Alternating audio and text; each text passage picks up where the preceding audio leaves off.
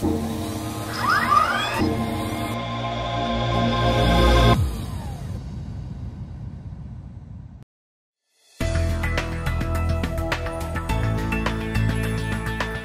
6565 Tekonsha Current Monitor is a testing device designed to assist in determining whether a tow vehicle's wiring is working properly.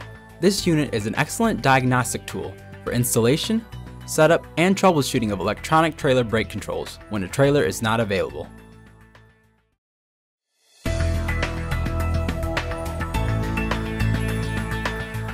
To check the lighting functions, plug the current monitor into the vehicle's trailer connector. Extend its cable to reach the driver's side. Now activate each function indicated by the four LED lights across the front of the test unit. With the vehicle ignition key on, test the left turn signal, right turn signal, brake, running clearance lights, and backup lights.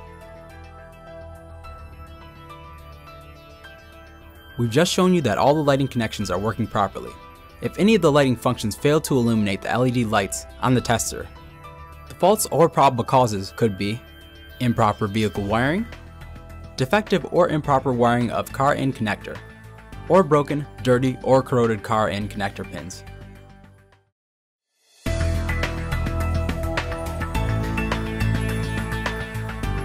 With the vehicle ignition key on, now we are going to test the battery charge line by switching to the trailer battery charge position. This test will measure the voltage being delivered to the trailer battery charge line.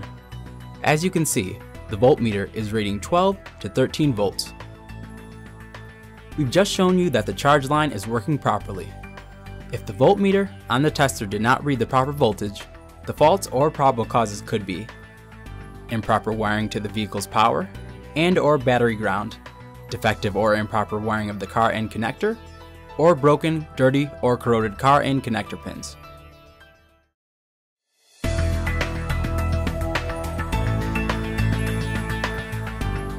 While sitting in the driver's seat, position the switch located between the amp and the voltmeters to the trailer brakes position.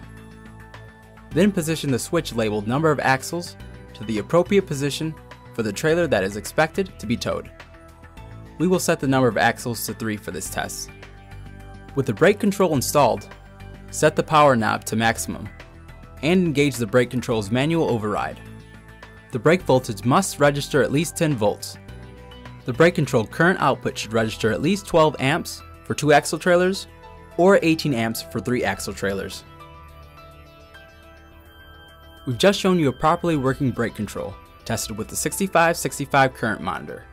If the display on the brake control does not illuminate and current monitor does not register voltage output, the faults or probable causes could be improper wiring of the brake control to the vehicle's power and or battery ground, improper setup, defective or improper wiring of the car end connector, or broken, dirty, or corroded car end connector pins.